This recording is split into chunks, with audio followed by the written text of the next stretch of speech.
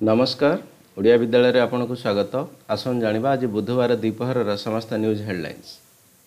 ଉଣେଇଶରେ ଆଉ ଏକ ଲଘୁଚାପ ପ୍ରଭାବରେ ରାଜ୍ୟରେ ପୁଣି ପ୍ରବଳ ବର୍ଷାର ସମ୍ଭାବନା। ହୀରାକୁଦରେ ଚାଳିଶ ଗେଟ୍ ଦେଇ ଆସୁଛି ବନ୍ୟା ଜଳ। କଟକ ମୁଣ୍ଡୁଳିରେ କମୁଛି ଜଳ ପ୍ରବାହ ପ୍ରଭାବିତ ହେଉଛି ଏଗାର ଲକ୍ଷ ସତସ୍ତରୀ ହଜାର ଚବିଶ କ୍ୟୁସେନ୍ ବନ୍ୟା ଜଳ। ଗତକାଲି ରାତିରେ ଧନୁଆ ନଦୀ କୂଳ ଲଙ୍ଘିବାରୁ ନିମାପଡ଼ା ଭୁବନେଶ୍ୱର ମୁଖ୍ୟ ରାସ୍ତା ଉପରେ ପ୍ରଭାବିତ ହେଉଛି ବନ୍ୟା ଜଳ। ନୟାଗଡ଼ରେ ବନ୍ୟା ସ୍ଥିତି ଗମ୍ଭୀର ଶହେ କୋଡ଼ିଏ ଗାଁ ସହ ଯୋଗାଯୋଗ ବିଚ୍ଛିନ୍ନ।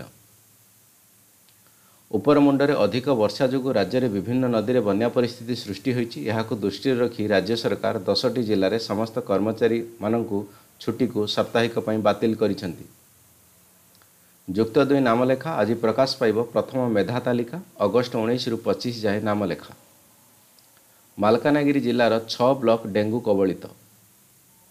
ଦିଲ୍ଲୀରେ କରୋନା ବଢ଼ାଇଲାଣି ଚିନ୍ତା କୋଡ଼ିଏ ପ୍ରତିଶତ ପଜିଟିଭିଟି ଦର ତିନି ଜଣଙ୍କ ମୃତ୍ୟୁ।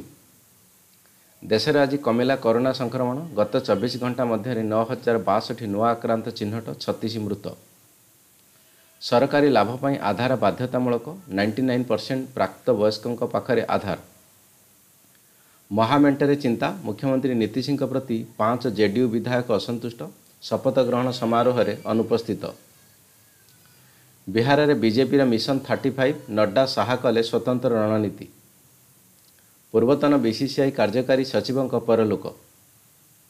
ଦଳିତ ଶିଶୁ ମୃତ୍ୟୁ ମାମଲାରେ ନୂଆ ମୋଡ଼ ଛାତ୍ରମାନେ କହିଲେ ବିଦ୍ୟାଳୟରେ ନାହିଁ ମାଠିଆ ରାଜସ୍ଥାନ। ଏଲ୍ଆଇସିରେ ବଢ଼ିଲା ପେନ୍ସନ୍ ସ୍କିମ୍ ଥରେ ଜମା କରନ୍ତୁ ଟଙ୍କା ଆରାମରେ କଟିବ ବୃଦ୍ଧାବସ୍ଥା ଟର୍ମ ଆଣ୍ଡ କଣ୍ଡିସନ୍ ଆପ୍ଲାଏ। ବରିଷ୍ଠ ନାଗରିକଙ୍କ ପାଇଁ ରତନ ଟାଟାଙ୍କ ଗୁଡ୍ ଫଲୋଜ୍ ଷ୍ଟାର୍ଟଅପ୍ ଲଞ୍ଚ।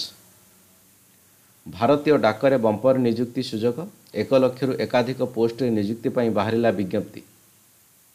ପ୍ରଧାନମନ୍ତ୍ରୀ ମୋଦିଙ୍କ ସ୍ୱାଧୀନତା ଦିବସ ଭାଷଣକୁ ପ୍ରଶଂସା କଲେ ପାକିସ୍ତାନରେ ପୂର୍ବତନ ଉଚ୍ଚାୟୁକ୍ତ। ମଙ୍କିପକ୍ସର ନାଁ ଟ୍ରମ୍ପ ବାଇଶ ଦେବା ପାଇଁ ଆସିଲା ପ୍ରସ୍ତାବ। ବିଶ୍ୱ ସ୍ୱାସ୍ଥ୍ୟ ସଂଗଠନ କହିଲା କୌଣସି ନାମ ପ୍ରସ୍ତାବ ଅବାନ୍ତର ନୁହେଁ।